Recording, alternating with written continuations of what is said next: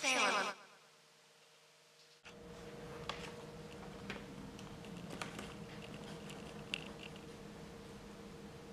What's on your mind?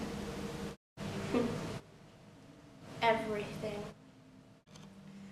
I don't want to push you, but do you think you could be a bit more specific? Just everything. Okay, okay. You don't have to talk about it at the moment. Do you think I'm crazy? No, no. I think you've just been through a lot and everyone has their unique way of coping. I know this may be hard for you, Salem, but do you think you could tell me what's happened? Of course. I was just in my classroom, finishing off an essay my bitch teacher sent me. Then I heard a gunshot, followed by never ending arduous screams. I heard footsteps, which sounded like they were approaching the classroom I was in. Unlike the others, I wasn't that stupid to hide in clear sight of the killer. Instead, I hid in a cupboard. The killer burst in, and my stupid classmates gave themselves away immediately. Scared to death they were, and death they got.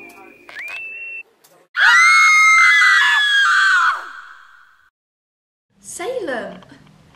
You, you're not sad that your classmates have died? I don't feel sad.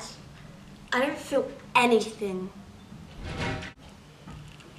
Why on earth do you feel this way, Salem? It's a filthy world we live in. It's a filthy, goddamn, hopeless world. And I believe that I'm helping to take them away from the shit and the piss and the vomit that run in the streets. They were taken somewhere clean and kind. There's so much pain, you know. There's so much. I did a good thing.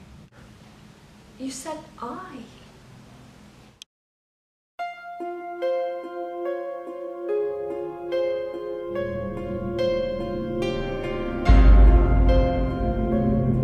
Salem, this.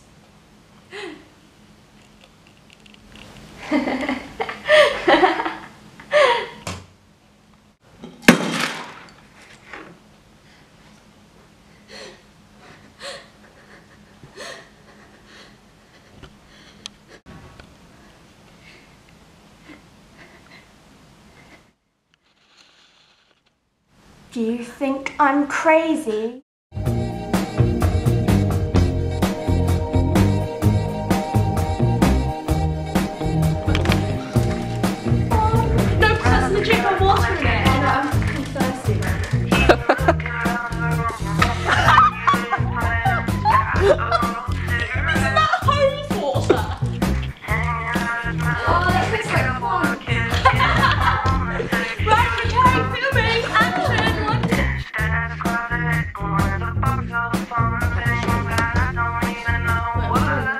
Yeah.